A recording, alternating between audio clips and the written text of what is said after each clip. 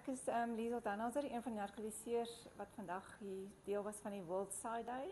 Dit is altyd vir ons 'n fantastiese dag. Ons almal gee ons tyd en ons vaardigheid om pasiënte te help wat nie dit kan bekostig nie en dan um, werk ons almal hier saam as 'n span.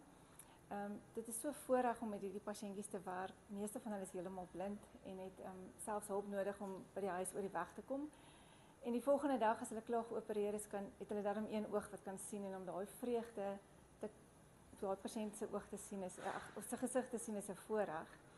Ehm um, ek dra hierdie hoedjie, dis my World Side Day hoedjie. Ehm um, verlede jaar het een van die tannies wat ook heeltemal blind was, ehm um, teruggekom en vir my die hoedjie gebring wat sy gehekel het omdat sy weer kon sien om dankie te sê. En dit is maar net die gevoel van die dag. Almal is dankbaar, almal is opgewonde. Die personeel is al heel week opgewonde en beraam planne hoe ons die dag gaan beplan. So ons kan vandag ek dink 120 pasiëntjies help wat ehm um, sonder almal se input en die borgers en die personeel nie nie gehelp sou kon word nie. So dis regtig 'n voorreg. Dankie.